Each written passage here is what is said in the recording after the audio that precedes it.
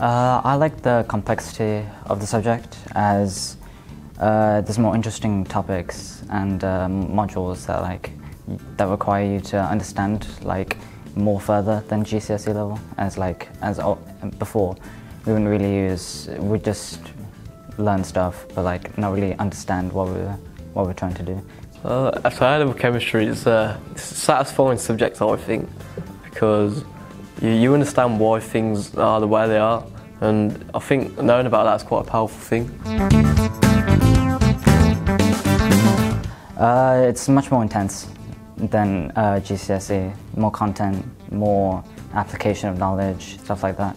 So it's, uh, and it kind of requires more independent learning, so it's like, it focuses more on you.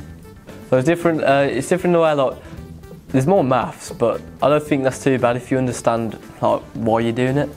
And um, you learn, you learn not just, in school they just tell you, but now like you understand why and you go through how you, like, you understand stuff in chemistry at A level. Uh, lots of math skills, so calculating and just equations and uh, like exam questions and stuff like that. Uh, a lot of application of knowledge and like the longer essay questions and stuff like that and um, um, just like communication skills so when you're doing practicals and like you, you need that good like chemistry. I think problem solving is a big one because a lot of the a lot of the questions is designed around problem solving and understanding what the question's asking. Uh, A level requires more like professional set of skills, so more than GCSE. So it's uh, it's more advanced.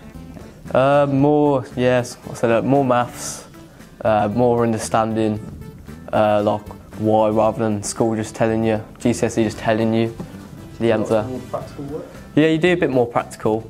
Obviously, not not too sure about now, the corona, but um, right. yeah, you do do more. Uh, I was thinking going into chemical engineering, so which which requires a lot of chemistry and like finding materials that are good for like solving problems. So if there's like a physics problem that's that needs a certain material that has high tensile strength or for something something like that, uh, it's like uh, it's to do with um, just creating new new materials using chemistry, so reactions and stuff like that to uh, just solve the problems that they're required. I'm going to apply for uh, biomed and chemistry. So actually both of them do include quite a lot of chemistry. Obviously chemistry does, but biomed does as well. So even biology related courses, you do need chemistry, so it's a valuable, valuable A level.